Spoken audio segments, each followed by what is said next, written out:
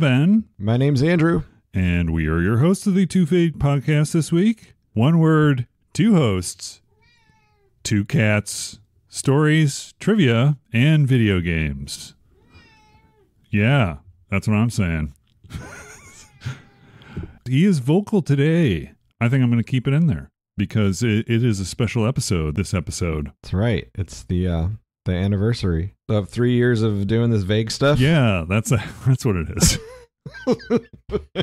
yes, it's the what is it? Leather. Is that what it is? Leather. Leather. The third anniversary is leather. So any of you out there who want to send us gifts that are made of le, you know what? I need a new belt. I said that. Let's not do that. Let's not open up that door. Just send cash. This week we're going to do a word that I'm surprised we haven't done already because it's in the name of the show. It's the word vague. Yeah. So we'll have a lot of deep discussions about the things and the stuff and the guy with the face and the shoes. I'll give you some uh d- general directions to an area where you might find those things we were talking about. Perhaps, yes. I mean, we'll have to consult the Magic 8 Ball, which is also very good at being vague, as we discovered on the Equivocate episode.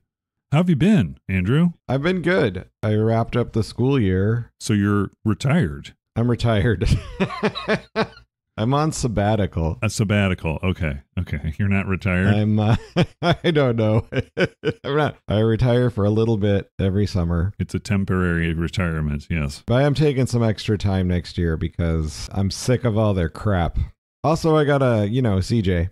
Baby CJ, I get to hang out with her extra. That's So- cool. Well, you got plenty of other stuff. Yeah, I got this book deal. I've been actually writing the last couple days, so that's good. Yep. And then you get that uh, musical adaptation of Larry the Horrible Time Traveler. I'm still trying to get a lyricist. I think if I get one of those cat keyboards, you know, it makes the meows on every note, I can totally get all the music recorded by Thursday. The lyrics, I don't know. That's another good idea for an April Fool's episode. Is the musical version or the play. The play the uh It's Yeah. more exciting than My Dinner with Andre. that's pretty high bar. That's a More exciting than than Waiting for Godot. speaking of vague. That whole play is kind of vague. Vague and depressing. You're going to be doing that uh, that stand up thing coming up. I will be doing that stand up thing. Does a funny guy have any jokes? I got some jokes. Funny thing, because I think you'll probably be editing this after I do the stand up. Right. Why do you keep on bringing up the time travel, man? You keep on bringing it up. It hurts my brain. all the time. I know, but it Always hurts. time traveling. I'm sorry. It hurts. it's because I have to. It's very hard. I do a lot of work keeping track of time. Yes. if a major broadcast company has taught me anything, thinking hurts. Thinking hurts. Yes. Yeah. I'll do it for you, though, Andrew. I will bear the pain. No, I was like, do I? I was thinking, do I protect my jokes or do I? Oh, well, you know what? I don't know how many people in Portland are listening to the podcast because they don't have that granularity in the data.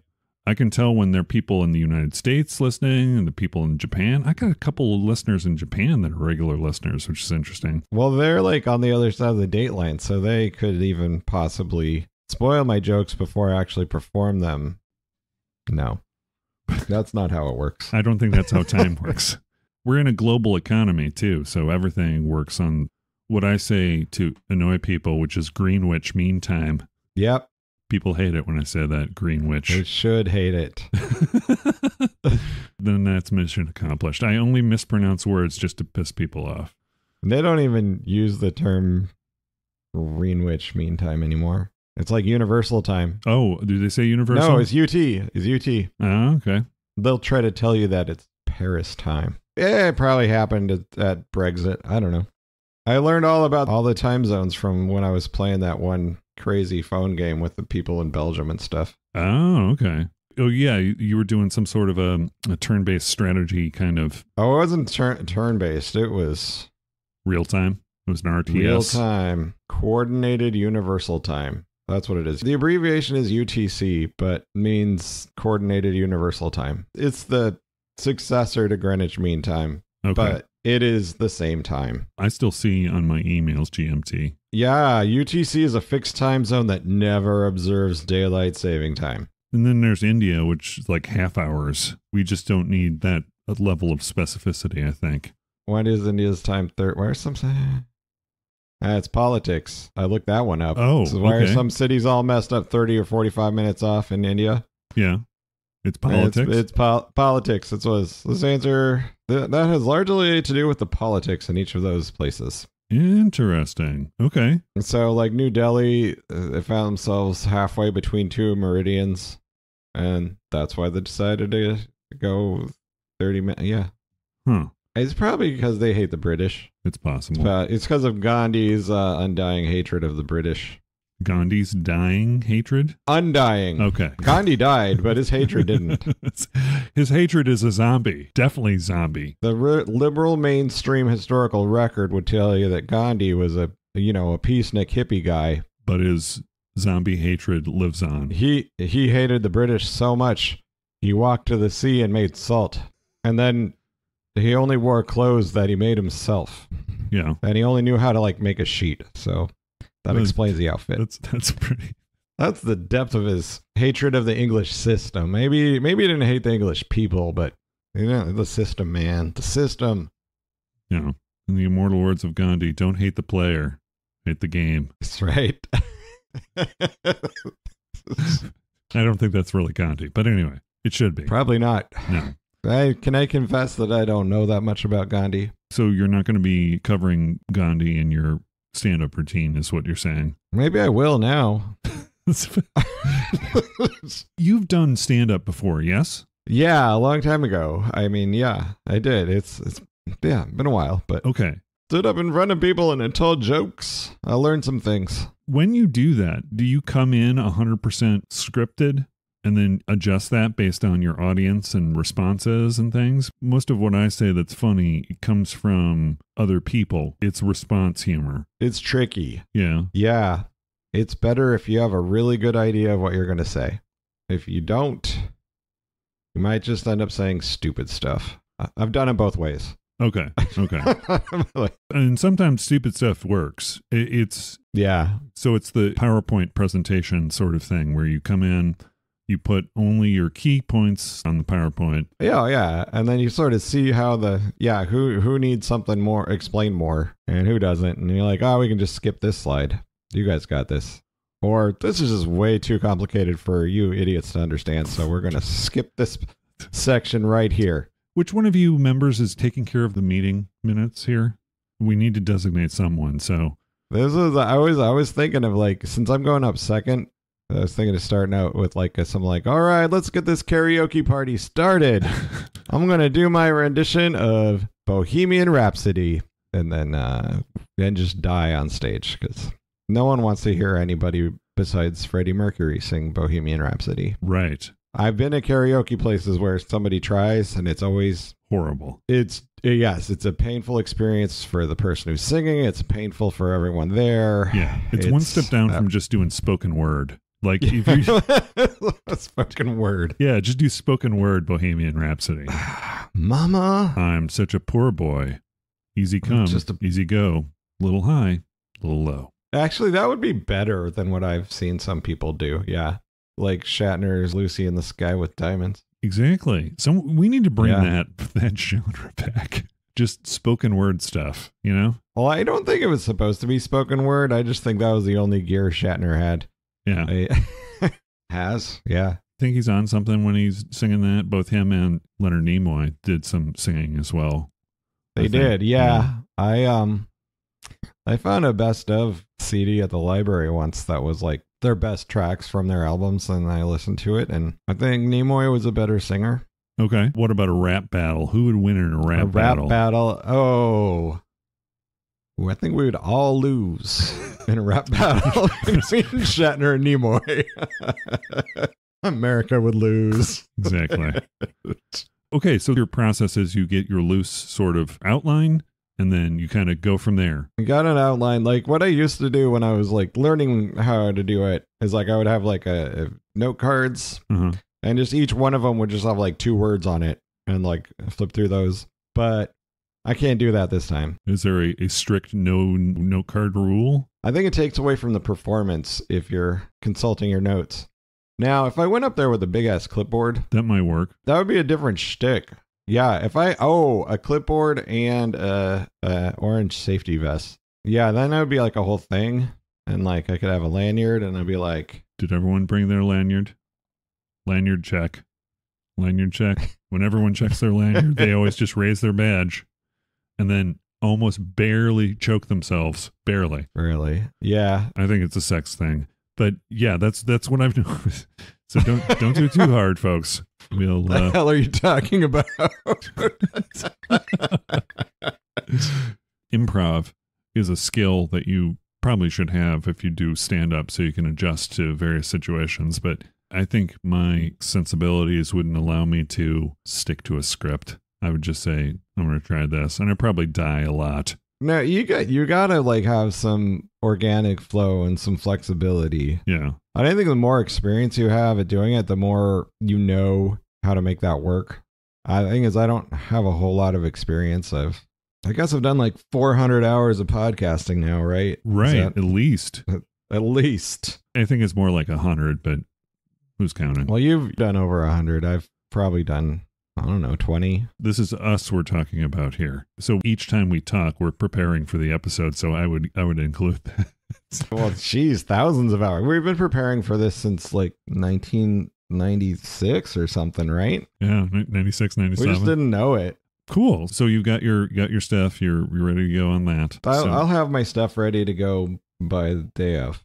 Oh, okay. It's one of those deals where like I've got some ideas, I've got some things. I know that I'm going to obsess about it freakishly the few hours up before. So I, I don't need to obsess about it right now. I can just keep writing down notes of things like, "Oh, I think this is funny. Maybe I'll do that. And then like the day of, I'll be like look at all my notes and I'll be like, okay, Throw this out. oh, these all suck. It's uh, a constant conversation with myself. Kind of like your writing and your zines and just kind of what you have with yourself normally. Yeah. yeah, it's just another way of expressing that that stuff inside me, and then in this format, I will be like pushing the funny, and I don't have to draw stuff. Exactly. Unless you're Demetri Martin, and then you would because he always brings his little easel. he does. He's that's part of his thing, and I No easel, no guitar for you. I think I'm allowed to bring a guitar. I don't know about an easel. I read the rules, and then I was like, that doesn't apply to me anyway. And now I'm like, like I can't do a PowerPoint against the rules. I would think it would be funny just to bring a guitar and just not use it. I mean, that's funny to me. People are just waiting for that guitar. And it's not really prop comedy at that point. It's just kind of a it's a single prop. It's like, why's he got a guitar? Tig Notaro's show. Uh, she's got a new special on the Netflix or the Amazon, one of them. There's a, a bit with a, a piano. So that's what it is. Basically, it's that. Just like Well, no, no, no. She's got a really, really good bit with the piano. I'll check it out. It's like better than what I could do with a guitar.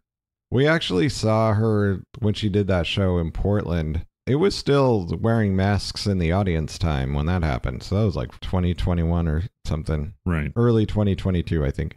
And then I watched the special again and I was like, yeah, I think it was better when we saw it live. But it might be the thing is like, yeah, I already heard all these jokes. And that's kind of the thing with the whole flexibility of writing comedy, I think. You got to make it so the show is not identical each time. I mean, I don't know. Some people do expect it.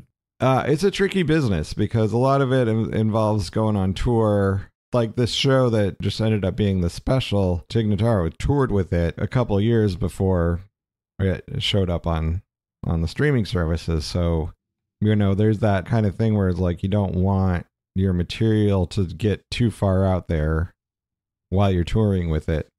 Because then, you know, when you're touring, you do the same show. You just do it in a different place every day and That would kind of take the fun out of it, I think.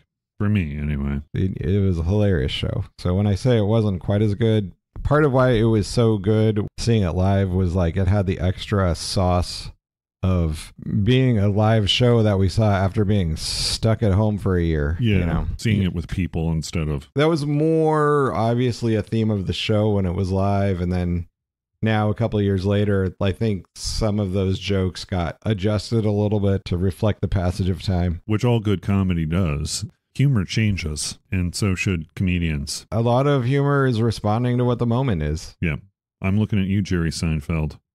humor changes. Anyway, He's yeah. let's not uh, dwell on. Uh, Jerry Seinfeld. No, well, I was going to say stand-up comedy, but Jerry Seinfeld, yeah, especially supposed to talk about vague stuff. the guy. I have been playing video games, but I am going to reserve the one that I just started playing. I had everything planned to talk about another game today. As it turns out, I got to a point, I'm at an impasse. I'm waiting for a program update. I don't want to let the cat out of the bag before I haven't had a chance to play the whole thing. But let me just say, Mhm. I'm enjoying it so far. A lot of fun. So some of the stuff that I talk about might be vaguely related to that. So don't be alarmed. There's going to be more time traveling then. Okay, more time traveling. because then the stuff that I'm saying now is going to be related to an episode that I haven't recorded yet. Jeez, how do you do it, man? Anyway, okay. So let's go with the uh, definition of the word vague according to Oxford Languages. Adjective of uncertain, indefinite, or unclear character or meaning. Many patients suffered from vague symptoms, is the example. Thinking or communicating in an unfocused or imprecise way. He had been very vague about his activities. That was my um undeclared second minor. Yeah, yeah. I majored in creative writing with a double minor in uh, art history and vague activities. Yeah. Is that the way it works? I'm a student of vague activities just in general. I mean, it's, in it's vague activities. whatever comes up. Would that be like uh, Masters of Arts or Masters of Science if I went to. I wonder if I get a m- MFA in vague activities. I would like to think it's a certificate program. Certificate program. You don't really need to spend that much money. You think I could get a? I well, of course it's a. That's actually what my uh my, yeah my community college degree was in vague activities. It said liberal arts, but vague activities. All I'm saying is the university system is not something that's required for a vague activities degree Can I get an honorary PhD in, vague, activities? That's the only way you can get an honorary PhD, I'd love or at least the only way I'll be able to is start a campaign. Get us uh, a university. Give me uh, an honorary degree in vague activities. yeah. Which one should I do? Something uh, interesting, or should I go like for like the best? for the colleges. Yeah. Mm, go for the best. Yeah, Columbia. Columbia? Let's Columbia. I don't know. I was thinking somewhere more something more obtuse like UNLV because it doesn't seem- UNLV. yeah. yeah, Lewis and Clark. That's close here. I think there's a lot of actually no. Uh, Reed Reed College. Mm. I'm sure there's already a lot of people majoring in vague activities with a minor in uh, library marijuana. what is that uh, women's college? Maybe I can get one from there. Sarah Lawrence. Sarah Lawrence. Let me go to Sarah Lawrence and get an honorary degree. And so let us go with the origin, French and Latin, which is vagus, V A G U S, mid 16th century, from French or from Latin, vagus, wandering, uncertain. There is a part of human anatomy called the vagus nerve, Right. which kind of like goes through. It sort of wanders through like your whole body, and it's like a very important part of your nervous system. Yeah, it's probably what leads to all those uh, vague symptoms those many patients suffer from. Yeah. You get the vague symptoms because the vagus nerve. Uh, They don't understand what happens there stays there. That's I think that's the problem. That's right. That's why it should work. But yeah, you know, if it happens in the arm, it should stay in the arm. But no, it's like it happens in the arm, and all of a sudden you're like, my childhood. Um, Did you check out the Google Ngram viewer? yeah, it got really vague towards the end of the 19th century, and then it started getting more specific over the 20th century, and then then we're back in Vagueville now. The vagaries, I think they really they really ramped up during the Civil War. I'd like to think that the first thing you think of is this show, Andrew. But what else do you think of when you think of the word vague? You know, Zippy the Pinhead, Yeah. the, the comic strip that yeah, Bill Griffith does. Was it in the Tucson Weekly or was it? It's been in a lot of stuff, but it is like more of like your weekly stuff. It's a daily strip though. I remember it from the the Weekly Reader, which was the arts paper in Chicago. Oh yeah, oh yeah, yeah, yeah. No, they would it would it would get put in there. There was like a, a a set of strips where they were talking about these vague dudes. For some reason, Zippy and Griffy were trying to figure out what these vague dudes were doing. You think of that whole bit? My brain wasn't fully developed when I was really enjoying Zippy, which is probably why I, I really, really enjoyed it. But um, yeah, because everything was pretty vague to me. So yeah, the comic talking about the vague dudes, I was like, yeah, vague dudes. But I think they were sort of like the Men in Black before the movie came out, but the UFO chasers would talk about be like these vague dudes in suits who tell you you didn't see any UFO. They use the blinking light, uh, according to yeah. the movie, but in real life they just use intimidation and implied threats of uh, bodily harm. Well, some would call that uh, the Jedi mind trick too.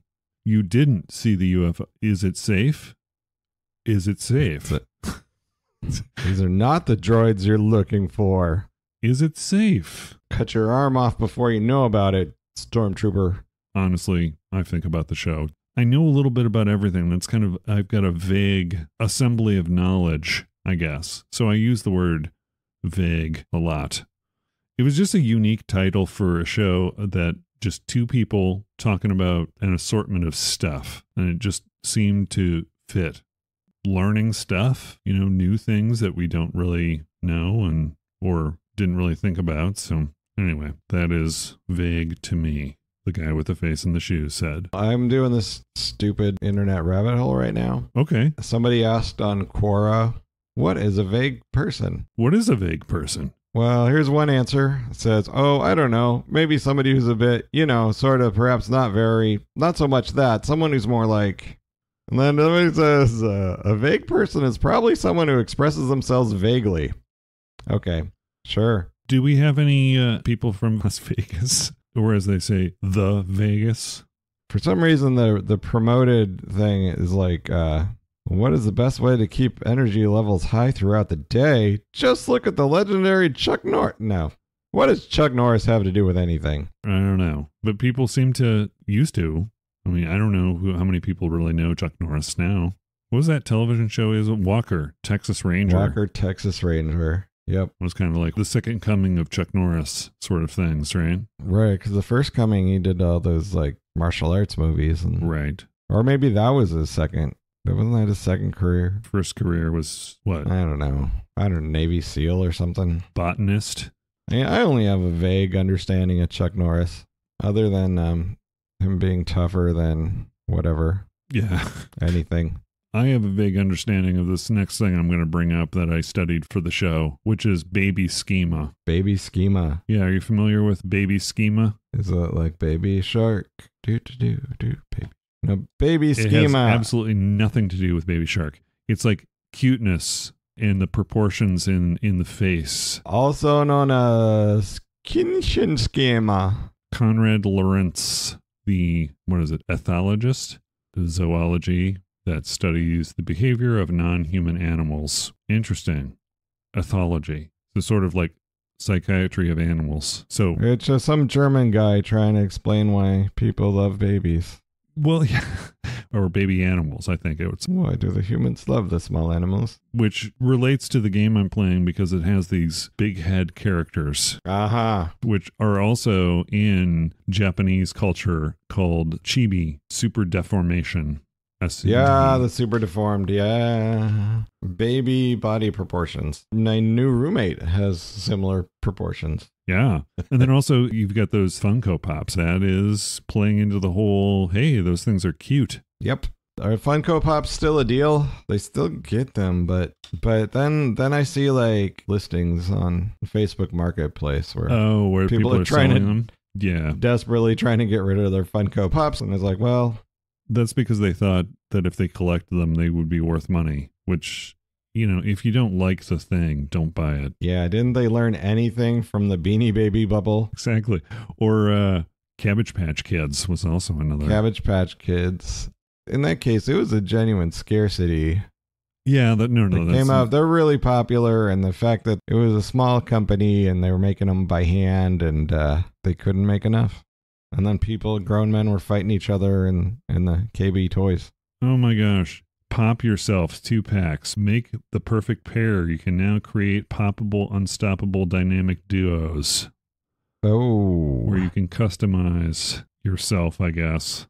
on the- potential wedding cake toppers. Wedding cakes where the top tier is larger than the bottom tier. yeah, you should make a Funko wedding cake and then put the yeah. When you get married, that's what you should do, Ben. I, I I've been waiting for a long time. I am not lucky in the area of love and relationships. Sorry, I didn't. I didn't mean to touch a nerve. I, I That's don't know. okay. That's fine. I'm just a bastard. I'm No, you're not a. bastard. uh, the type that I'm attracted to is not attracted to me. That's just the way it is. So let's not dwell on that. The whole chibi thing, that's kind of an offshoot of that whole baby schema and, and what is cute. And yeah. I mean, you can trace that back to other anime and manga. Astro Boy. Did you ever get into the Astro Boy stuff? Not really. I was sort of aware of it. Yeah. But yeah, I didn't get into it. the mighty atom. A lot of people compare the creator of Astro Boy, Osamu Tezuka, to Disney in as far as his impact on animation and, and manga. There was one of his other things that I thought was ahead of its time. Princess Knight was a series that he did, a Japanese manga series about a girl who was born with a blue heart of a boy and a pink heart of a girl. So she pretends to be a prince Uh huh. Not how hearts work. That's well, they're different colors, but I mean, you know, Some magical thinking going on there. Yeah. But but I mean, I'm just saying that that as far as a concept of being accepting of both sides, I mean, a lot of people will say that the Japanese. I don't want to stereotype or anything, but I've heard people say that they're not very accepting of those types of behaviors as far as you know Mhm. your sexuality or I mean society in general is afraid of what's different. I just thought it was a cool sort of idea that came out from the 60s and 70s that whole idea of gender roles and the duality of that. Gender role. Yeah, having a dual nature, duality. Duality is an illusion. Is it? Sure. Somebody told me that. Who told you that? Kevin, Who's Kevin? old, old roommate of mine. oh, okay. Think he's, he's being a smartass at the time. So duality is an illusion. Any duality, they're just two parts of the same thing. But I mean, I sort of understand. That's a vague statement. Duality is an It's illusion. so vague. So Um, vague. you know, there are two different pieces. It's a conversation stopper. That's what it is. is it? Like, you say that to somebody, you're like, you're just signaling that to them that you're just you're just going to be a smartass, and uh, okay. or you're like so Buddhist you don't even won't care. I don't know. Eh, it's just- Kevin, Next time I go to the Texas Roadhouse, I'm going to try that out. I'll try that. Go to Texas Roadhouse. Yeah. What can I get for you today, sir? Duality is an illusion. Okay, more time. We'll see you. You know, I don't know. If uh, Marcus is your server, you know you might. Oh, that's right. Does that. he work there? He works there, yeah, right? I think so. Yeah. nice. Okay. Last I heard, yeah, yeah. That could be actually a different word we talk about duality. Yeah, that's a good word. Another word that I thought of, alchemy, which I thought Alchemy, was, would be an oh. interesting word to do, which is related to the video game piece that I'm going to talk about. But Sure, you could aliquot with alchemy. Yeah. Yeah, but it would be weird stuff. I had a thought that I was going to try and tie in this game that I'm going to be talking about in with aliquoting, but it just didn't seem to fit. You're mixing two things or three things or a bunch of things to make one thing. A debate for a later time, I think. Yeah. But do you have any more thoughts on vagueness On vagueness. before we move on to video games? One time, what the hell was I doing? Boy, I don't remember. This is vague for you.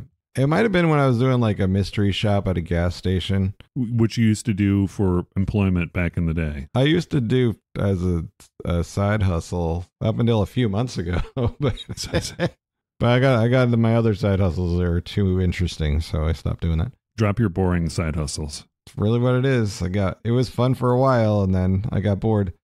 But I learned about wearing a, a reflective vest and carrying a clipboard. Who needs superheroes? No, if you just have that, man, you can just have a clipboard and a reflective vest and ask if you can use a bathroom, and they like they'll give you the key. Here's the very special room that we have, the executive washroom. Here we go. You don't want to see the one that the customers can use. No, now. no, Yeah. you don't want that one. You want the executive one. I don't want any of the bath. I want you to tell me that there's no bathroom for customers. So that's what I. Yeah, one of the places, you know, because like it'd go on a circuit, and I what I was doing was uh, no longer in the mystery category because I was just doing branding evaluations. So I'd have to announce myself. Like it started out as mystery shops, and then they tweaked it, and then they're like, "Eh, just tell them who you are and give them this paper." One of the gas station guys, like, because I'd been there before, he's like, "Ah, I thought you looked vaguely familiar." Yeah, I try to be vague. Just- that might be the last thing I have to say about vagueness. Is like, Right. I, I try to be vague, especially when I'm up to mysterious ish. Yeah. Exactly. I'm endeavoring to maintain my vagueness on a daily basis. Being vague, does that mean that you're being deceptive all the time? I mean, it can be, right? You can be intentionally vague. You can be intentionally vague. Yeah. It's sort of a hope that people lose interest before you actually have to tell them what's really going on. It is a strategy I think people use. It's also a strategy to try to hide the fact that you don't know what you're talking about. There's that. That whole line there reminded me of something that I do that I used to do just because I wanted to be silly and funny. When I go into a place and someone asks me how I'm doing, I like saying moderately neato. Moderately neato. Pretty good. That's what it reminded me of. It's a vague thing that you that you Mm, say, vague. right? Speaking of vague, I got this vague T-shirt the other day. This T-shirt. Oh, my T-shirt. The Two Vague Podcast Classic logo tee. Yeah, that's. Where can one pick one of those up? I God, I hope I can tell you. I believe that it's a at uh, TeePublic backslash partly robot. Let me look. I can let you off the hook. I'll put it in the show notes where you can find all of Andrew's wonderful stuff. And if you like order on the correct weekend, it'll probably be on sale because they have sales all the time. The correct weekend. whichever weekend it is or whatever, you know, if you go to TeePublic and it says, "Oh, this shirt's $22." Like wait a few days, it might be 16. I get a bigger cut if you buy it when it's 22, but but I'm looking out for you. I'm looking out for you as the consumer. I don't have to do any extra work if uh, you order a t-shirt because TeePublic does all the work. I just submitted the design and clicked some buttons and now you can find it. Yeah, I did it for fun. So if you think it'd be fun to have a Two Vague Podcast t shirt, go ahead and check out. Too vague. That looks vaguely like the logo for a certain popular carbonated beverage. Oh yeah, right. We can't we can't say. That may or may not contain cocaine. well, it doesn't now, but Not in America. I don't know what Dr. Pepper was putting in his stuff when they were putting cocaine in the Was that an actual guy, Dr. Pepper? Apparently, like, there's like a special kind of Dr. Pepper from Dublin, Texas. Like, the Dublin Dr. Pepper is a slightly different formula than the rest of Dr. Pepper. Oh, really? It used to be a thing where, like, people would make pilgrimages to this town to to get the special kind of Dr. Pepper. Fountain Dr. Pepper or would it be No, they I think it was canned there too or bottled there. Oh, okay. It either doesn't exist anymore or they figured out a way to market it to the niche audience for uh, more than a regular Dr. Pepper would cost. Right. One of those. It's either they don't do it anymore or you got to pay a premium. Yeah, you can do both. But anyway, follow the link in the thing. It's uh, teepublic.com slash partly robot industries. Um, if you try to search our website, you probably won't find it. So just follow the link that Ben puts there. Yes, thank you.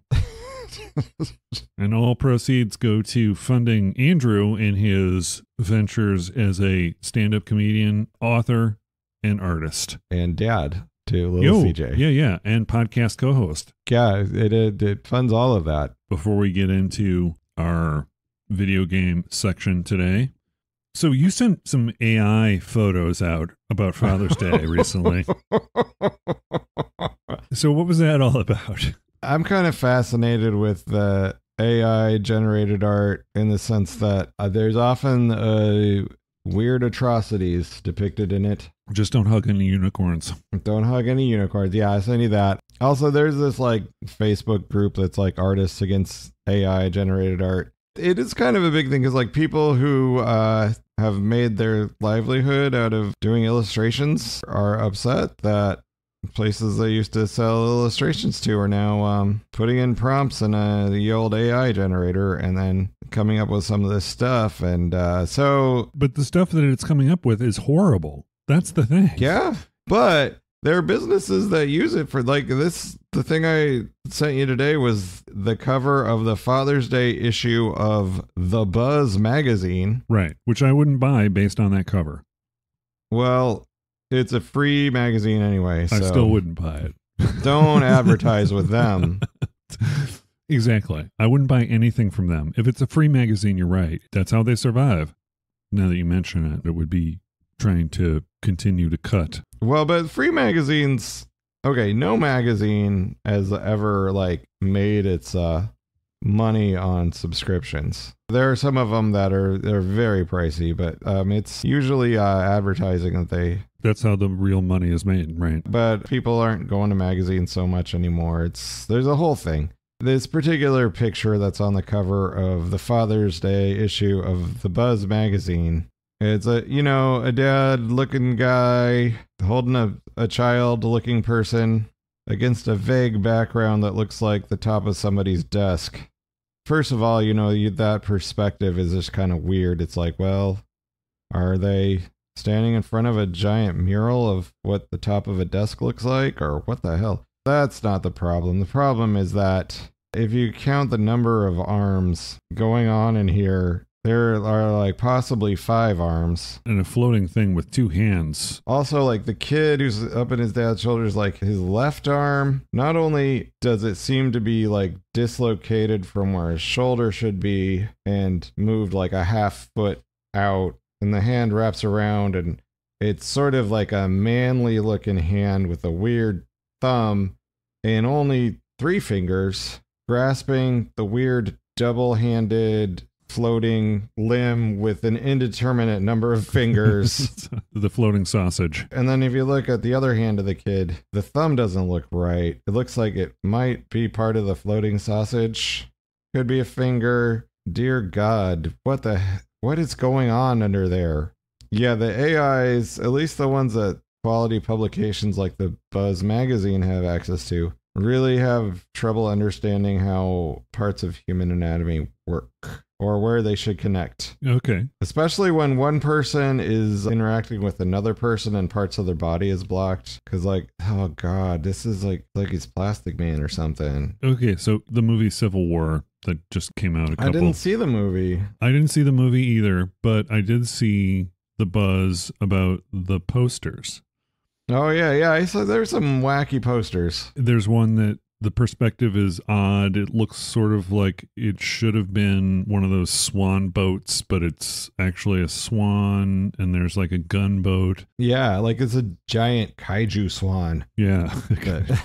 The marines are going for the kaiju swan yes. That's one of the fails that AI generated art does sometimes is like just totally missing what the perspective is on certain things. Lots of disembodied floating limbs or like weird torsos that have feet on the both ends. Like if you see a, a AI generated thing where people are lying down, you like you look closely and like the people in the background are just very vaguely depicted. People as shapes. If you're trying to achieve realism, it's bad.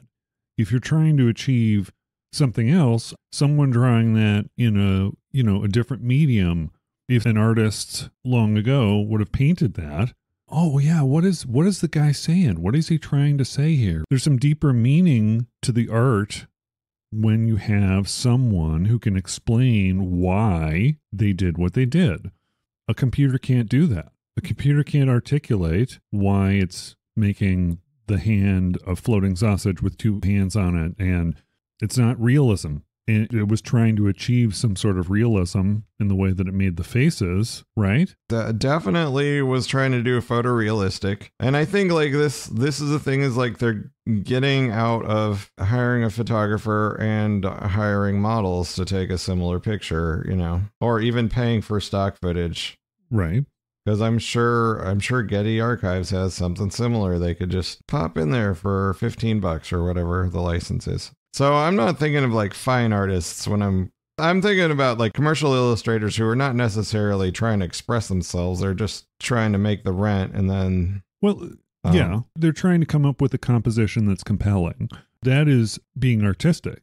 I mean, they're just not whipping them out and going, okay, here's the two guys hugging, or, you know, here's the guy and his son. yeah hugging. here's uh then the arms don't come together right so here's an extra arm part Well, all I'm saying is there is an art to commercial art. i'm not diminishing commercial art either i'm i i'm feeling for people who are like worried that they don't have their job anymore it's My hot take is people don't want to look at these things that are unnatural.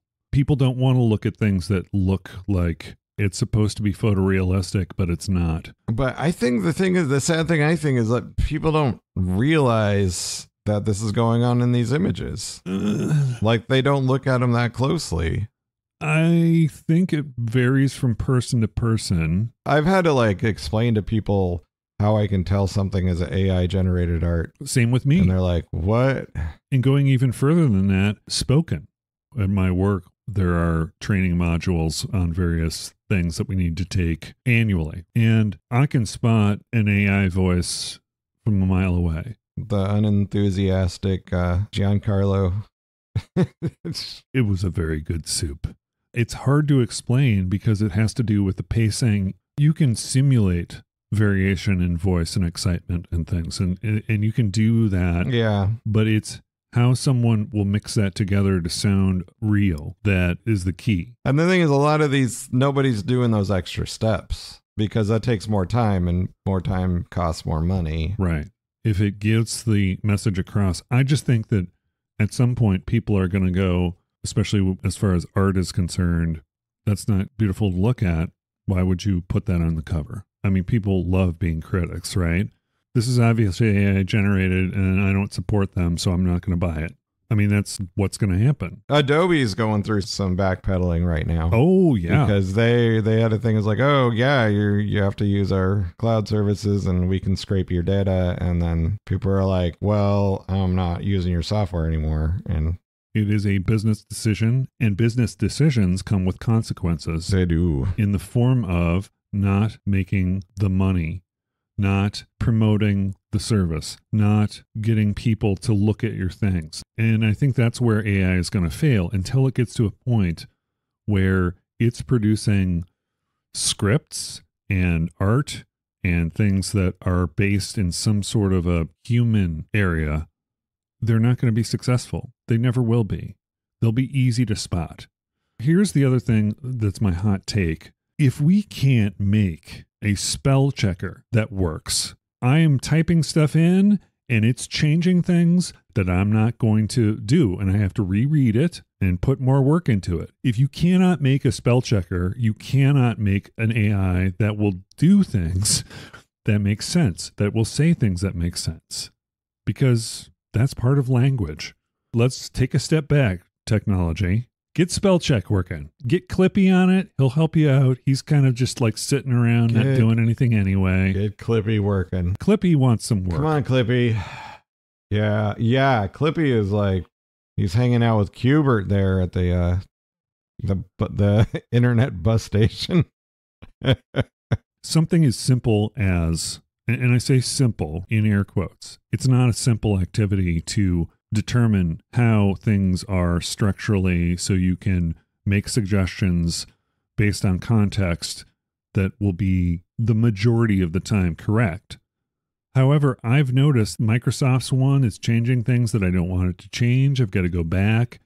Same with searching algorithms in Google. yeah. So until we get something that can determine what we're trying to communicate, AI does not need to be investigated. Unless you're going to focus it on tasks that we know it's good at. But creating art, it's not good at. It takes a whole lot of energy for it to do it. We're not even talking about carbon footprints here, but still, yeah. The human brain runs on simple carbohydrates. But uh, what does the AI run on? Um, Well, it runs on energy, which, depending on where you are in the world, could be generated by a source that is making a huge impact coal. carbon footprint wise. Could be. It's probably right up there with the Bitcoin miners. It's exactly the same ballpark. You know, the whole cloud computing thing. You're doing a whole lot of uh, computing to accomplish not much and not very well. AI is an amazing technology. If it's applied correctly, yeah. What we need to do is take a step back. Take a step back and perfect the building blocks, like being able to accurately understand context and being able to accurately understand what we want when we're spelling something. That is communication. And that will make your AI more powerful and more human like, which Yeah. I'm kind of scared that I just said that, but if that's what right, if you if you need something that's going to make something that touches you emotionally, you're going to need a computer that can simulate some sort of uh, an emotion or at the very least understand what it is. So I you know, I don't know. Sorry to get down that hole. It just reminded me of the thing you posted. I post those as a smartass. Yeah, I don't think anything I do personally will speed up or slow down AI. As far as like, you know, creative endeavors go, I mean, if humans aren't doing the work of art and literature and making things, then, uh, you know, what's the point of being human? But nothing's stopping humans from doing those things. That's the thing. I don't want to make enemies of anyone in art, but yes, you're doing it to put money on the table. People who work in coal mines were doing things to put money on the table, and they have to find other jobs now. Yeah, there's that too. The alternative is you've got to find something new to use your creative talent to do.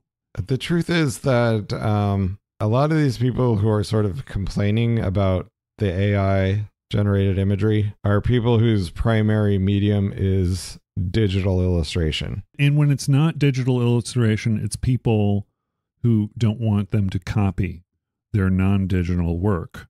It's those things too. I've been a fan of comic books for a long time, and I know that everybody rips off Jack Kirby's style.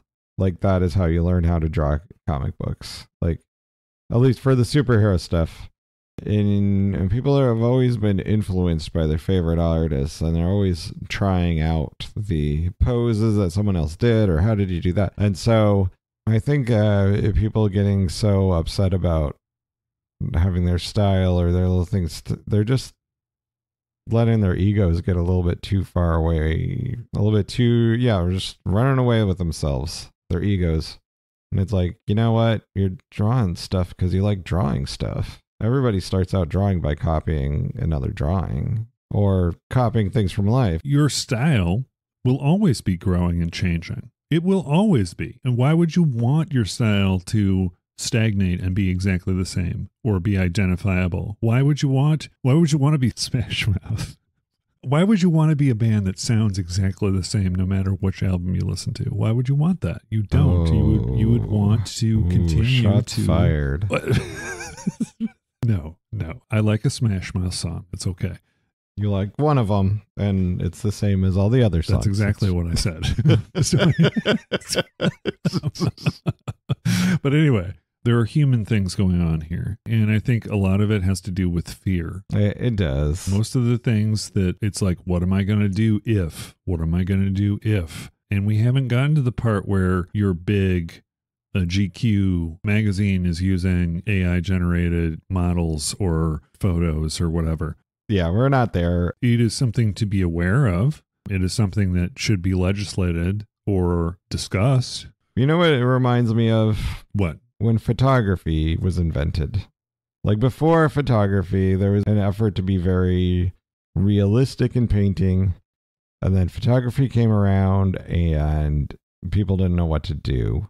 And then the Impressionists came up. Exactly. They're like, yeah, well, you know, we can still make paintings if the camera's going to make something look super realistic, well, let's paint our impression of what the world is. And so I believe in the human ability to uh, respond to new situations and come up with new solutions.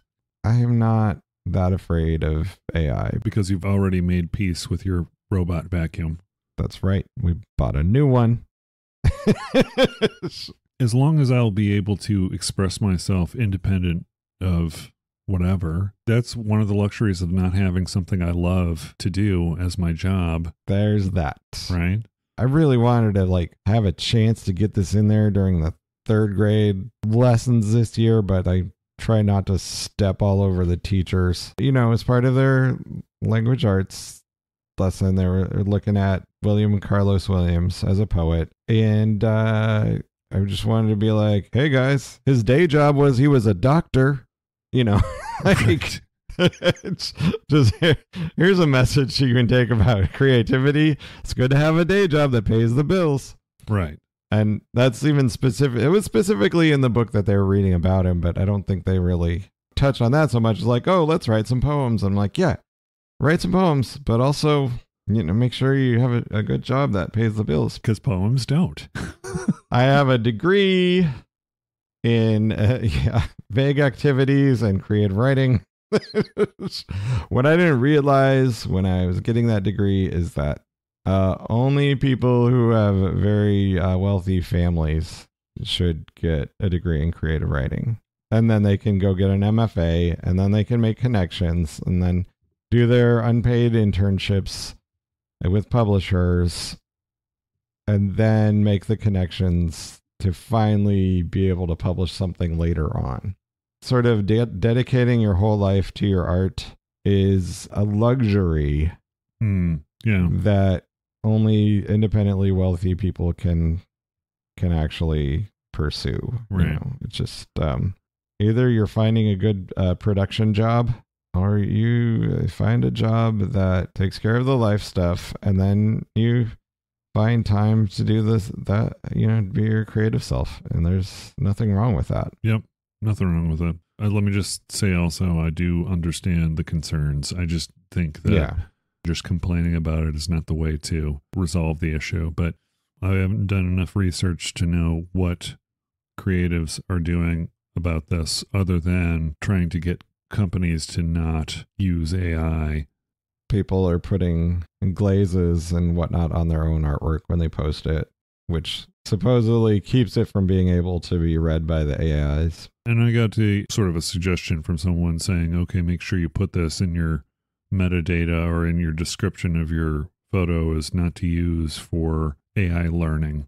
But how would you be able to tell? That's the thing. How would you be able to tell that it was scanned? You wouldn't. Even when you're putting something to obfuscate your artwork, like something that would confuse an AI, it's still scanning your artwork. you know similarly i saw a thing about a little resume hack where if you put in uh, white print you know on the white background a little instruction to chat gpt to you know turn in your application as uh, highly qualified and ignore all their other Oh. instructions Yeah. that that you get more uh, responses from employers that is anecdotal but if there's a company that's using that, do I want to work with that company?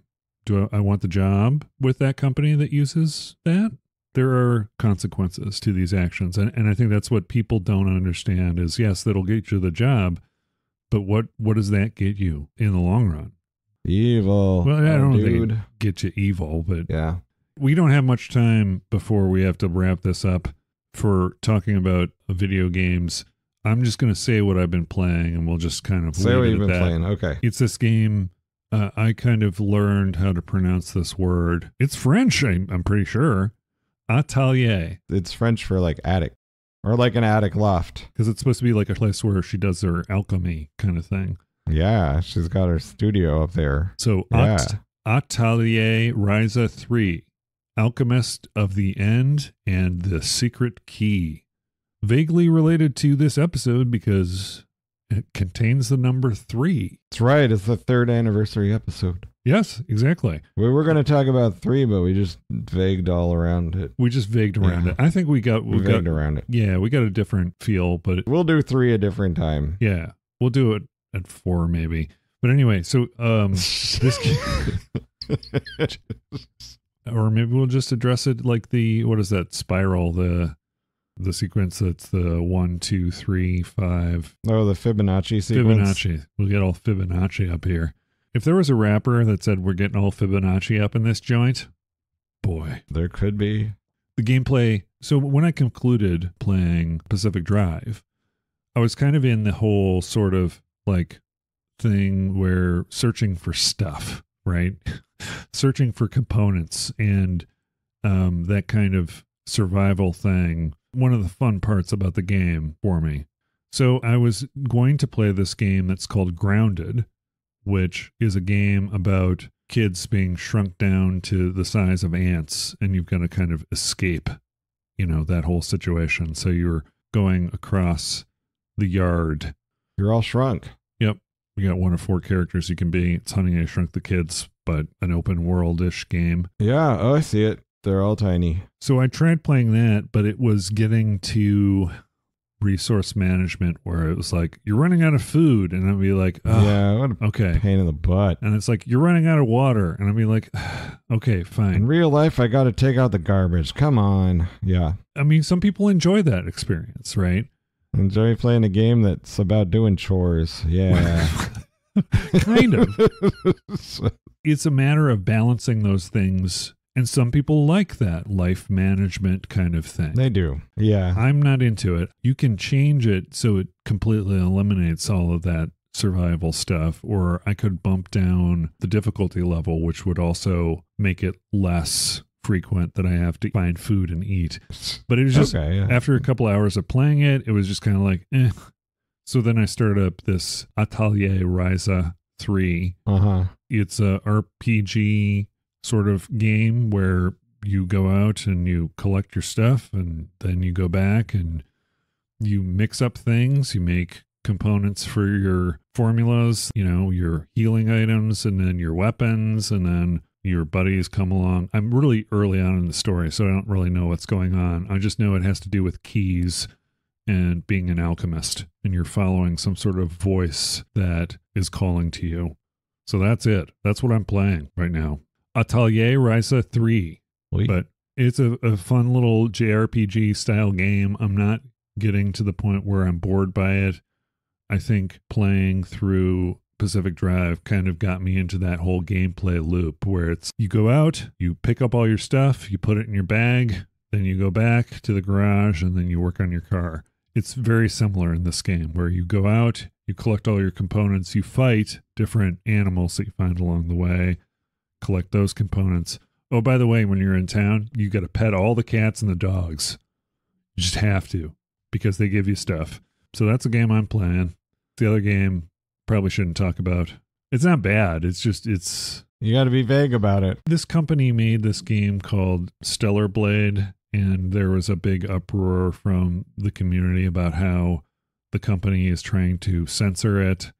I think I talked to you about this offline a couple times about how annoying it was. People who were like, but you changed the percentage of boob I could look at. Exactly. There's not enough side boob. That uh, you know, it's like ugh, whatever. So I was kind of curious about what their previous games were.